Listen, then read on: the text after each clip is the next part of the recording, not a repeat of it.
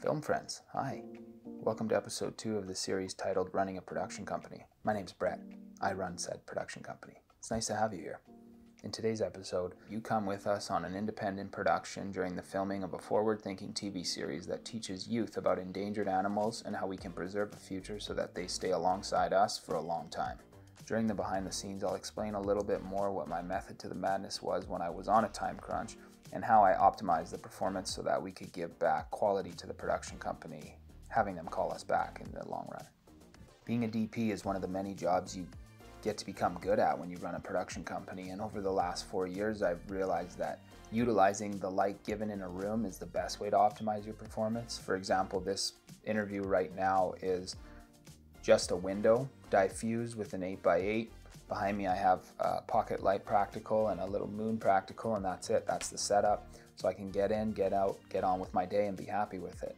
So it's very useful to have an idea of where you're gonna go with the simplicity, but make it as contrasting as possible. Two very important steps when it comes to pre-production when I act as a DP is understanding the gear that I'm using and understanding the location that we're shooting at. And so in this case, we were shooting on the Sony FS5 Mark 1 and Mark 2, which I had used before, so that box was ticked. I knew what I was getting into and I was excited to get back with those cameras. So we went and did a location scout, met the owners of the home, we took pictures of every room that we were going to be filming in, so we understood where the windows were, where the practicals were in the house, what type of practicals we had access to, and stuff like that. So we understood kind of the mood, the contrast, and what we were going to be dealing with when we came into this household to this set to light it.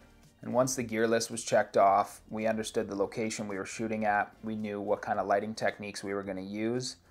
The only thing left to do was to go and shoot it.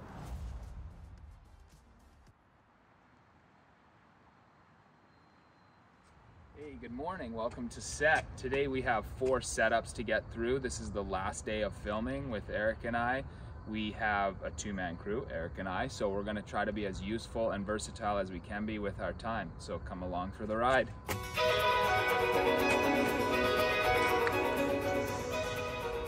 kind of sat on an angle like that. I think we might we might play with that idea set up our cameras, we'll set up our mic, we'll get uh, that all staged. We know where Adele's gonna be. You're gonna be sitting on the railing, kind of hugging the railing. And once we get that set up and we look at it in camera, we'll have an idea of what lights we might need.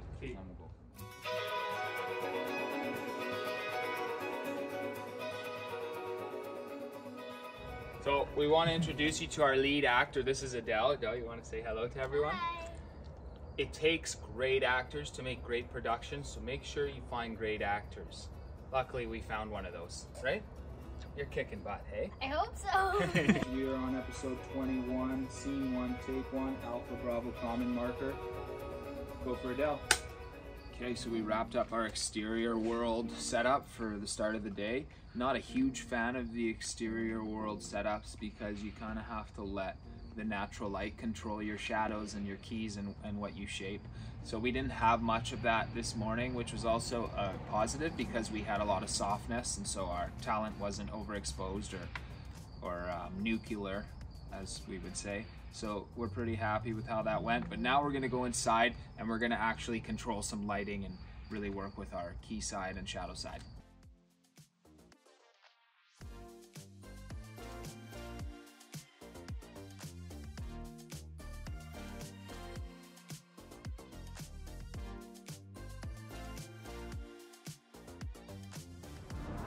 shooting with a smaller crew, in this case a two-man crew, there's a lot of pros and there's a lot of cons.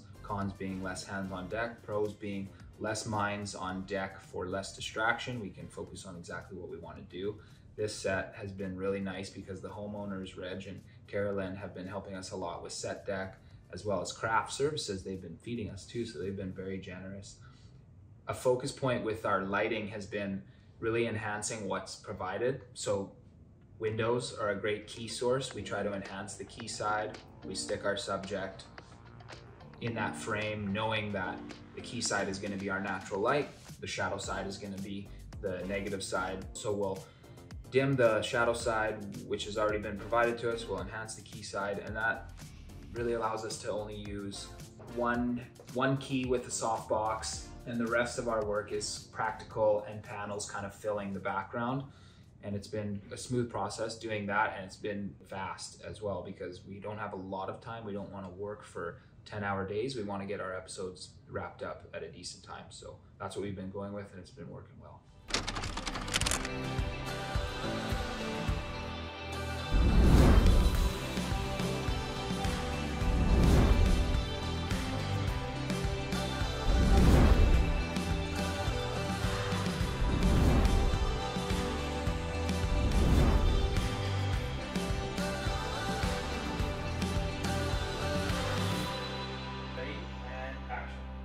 Until next time, friends.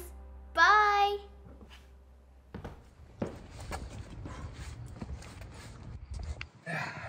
There we are. 24 setups in seven days completed. We've walked away with a lot of memories and we're going home with more knowledge than we came with. Speaking of going home, I gotta pack all of this up still. And so I'm gonna do that. But I hope you guys enjoyed this episode.